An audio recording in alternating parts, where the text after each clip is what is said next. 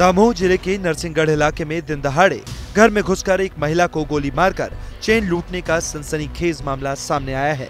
गोली लगने से घायल महिला को पहले दामोह जिला अस्पताल ले जाया गया, जहाँ महिला की हालत गंभीर होने पर जबलपुर रेफर कर दिया गया।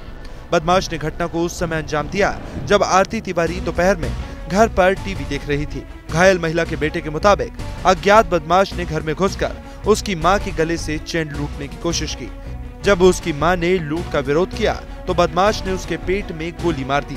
डॉक्टरों ने भी महिला के पेट में गोली लगने की पुष्टि की है। आया तो फिर में? चैन छीन। चैन छीनने की कोशिश की चैन ले गया और वो देसी कट्टा बोलती है वो मार के गया है। कौन है आपकी? हमारी माँ मम्मी। मम्मी। ये जो महिला आरती तिवारी 40 साल उसका गन शॉट इंजरी बता रहे हैं।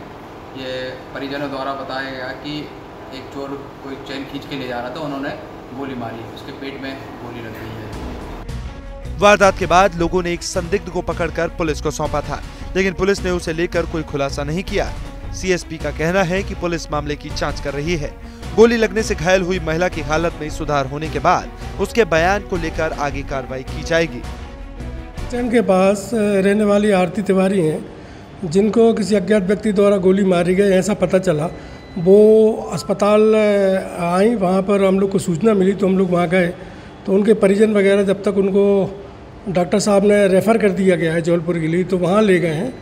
अब ये गोली मारने की जो प्रथम दृष्टया बताया गया है, उसकी पूरा सब पता लगाया जा रहा है। घटनास्थल पर भी पुलिस भेज दी गई है।